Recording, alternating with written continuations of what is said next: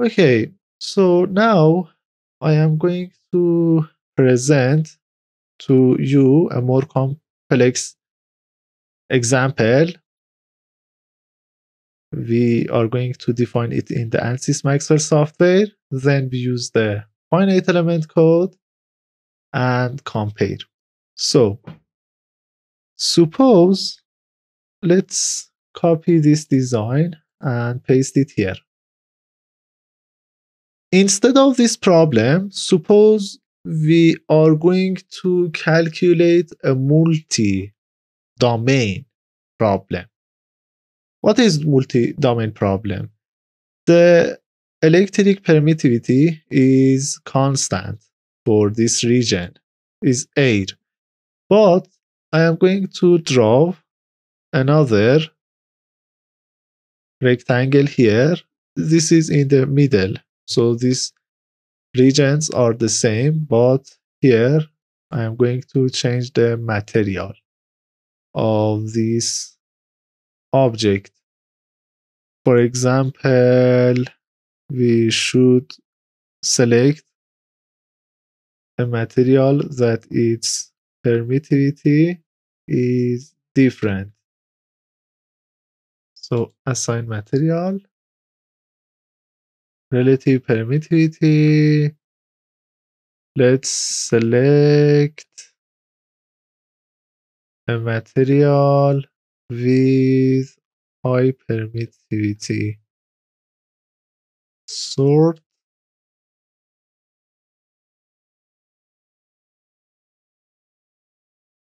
Let's select this one, right? relative permittivity is equal to 12, right? So select and change the color. So you can see materials, right? Relative permittivity is 12, but relative permittivity of the vacuum is equal to 1. So what if we solve this problem? Analyze. The solution is in progress. And you can see the value of electric field, electric potential, and the EX is almost zero here, right? And this is the value of voltage. We don't have negative values, right? The, the epsilon is higher. So the solution is totally different from what we uh, had, right? So if I select all objects and plot mesh, you can see the solution mesh. And now let's check if we can generate this solution using our code. So first I use the first order elements and let me write NE here. This is NE plus 1 let's use 10 elements. So this time we have to specify the epsilon e also here.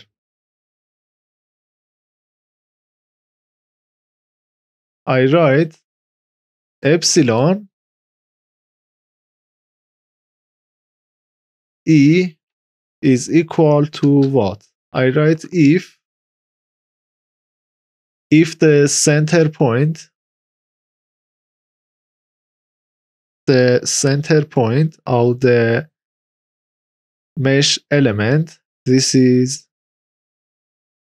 center point I write xc center point divided by 2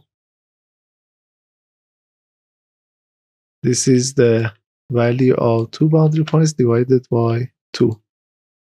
If the center point is lower than d divided by 2, epsilon i is equal to 1.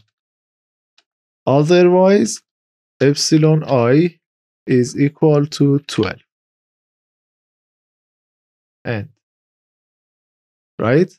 This time we don't have a constant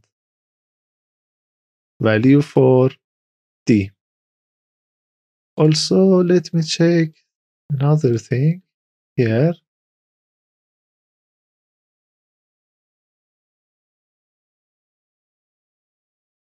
The excitation right. So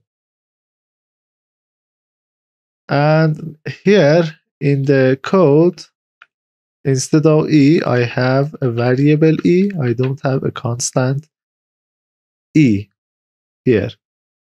Finally i can calculate the value of v. So let's save finite element analysis try 3 and run.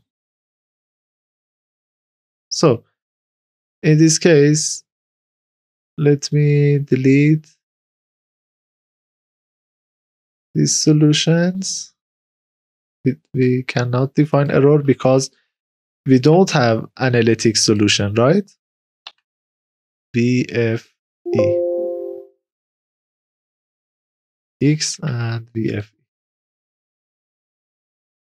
So I don't need this analytic answer anymore. You can see the solution here, right? And you can see the solution in the ANSYS Maxwell software, right? For electric potential the solution for electric potential. If I consider 20 elements,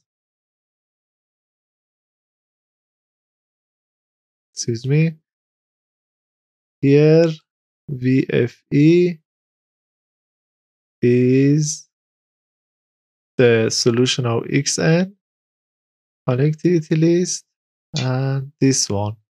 So this is the epsilon E and LE. So this is the value of epsilon that is equal to 1 for this element, equal to 12 for this element. Number of elements is divisible by 2. So uh, we have a number of elements here and a number of elements here. But why we have this value for v so let's check what is the reason let me apply a charge density here uh, the same as this one and try maybe we don't have the same uh, charge distribution for all regions. Okay, you can see variation in the value of V and E. So, uh, what do you think? Why we don't have a curvature here in our solution because we used the same procedure and here we used the LE and epsilon E corresponding to each mesh element. Uh, excuse me, excuse me. This is uh, in analytic solution. This is E. E is epsilon zero times epsilon relative. So this is times this one, right? That that was relative. So if I consider this equal to 12, right? This is the answer, right? This is the answer. If uh, if I consider, for example, 20 elements And this is the answer calculated by the ANSYS Maxwell software, right? So we are able to capture the same solution. Also, you can try this for quadratic element and check the result with the ANSYS Maxwell software. This is the value of E electric field. We have a jump here because of discontinuity in the value of permittivity, electric permittivity. So, as you can see here, we can change the code like this to be able to solve multi-domain problems, right? And the procedure is pretty the same. We don't have a big difference. Just I modified the value of electric permittivity for two regions to be able to regenerate this result. You can check what is the minimum value of voltage 0.06 and also I can plot the minimum value of V here. 0.06 the same as this one to check the answer. Right. So is this example clear? Yeah it's clear. So the procedure is the same for cubic elements. For cubic element, we have four mesh nodes per element. And these are shape functions. The N1 to N4 node voltages, shape functions, node voltage, and the stiffness matrix elements, force vector elements, right? So you can see that the procedure is totally the same. So you can try cubic elements and let me know if you have any questions.